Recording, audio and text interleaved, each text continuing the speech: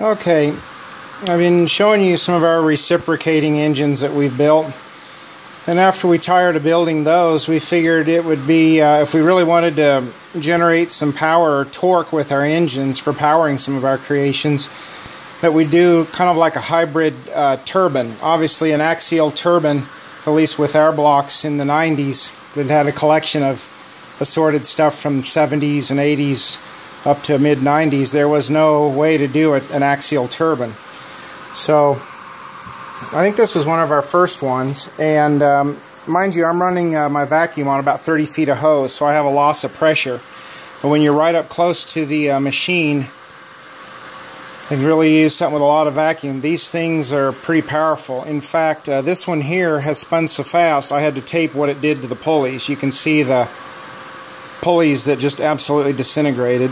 And when you're spinning at those RPMs, you have to get creative in how you put the blocks together. We were actually shearing parts off. You can see I've had this one running.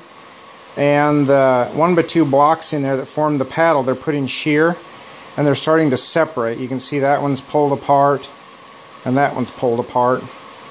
Um, I use a tri-rotor. I think it's from an airplane maybe, Lego Technic set. But I only have one of them because I broke my other one. So the other side I just shoved the knob right in the pulley.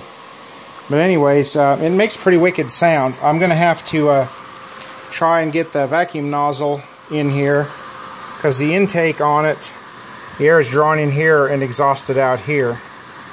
And so the intake on it, uh, I have to try to seal it with my uh, bandana.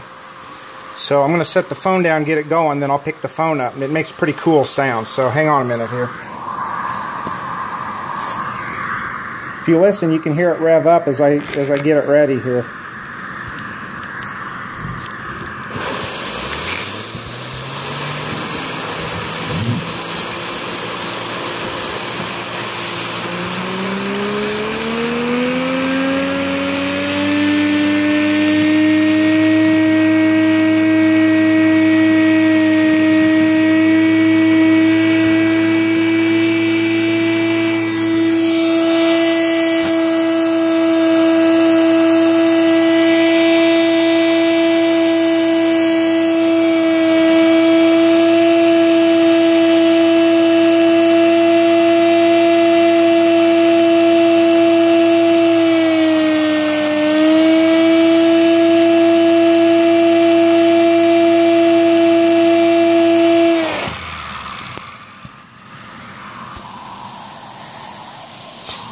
So anyways, the reason we built those paddle wheel turbines is if you wanted to actually power something, like a little model sawmill or something, these things put out a constant torque versus reciprocating engines we found weren't weren't as powerful. Of course, your uh, your Lego vacuum engines that are built today, they look like they put out considerably more power.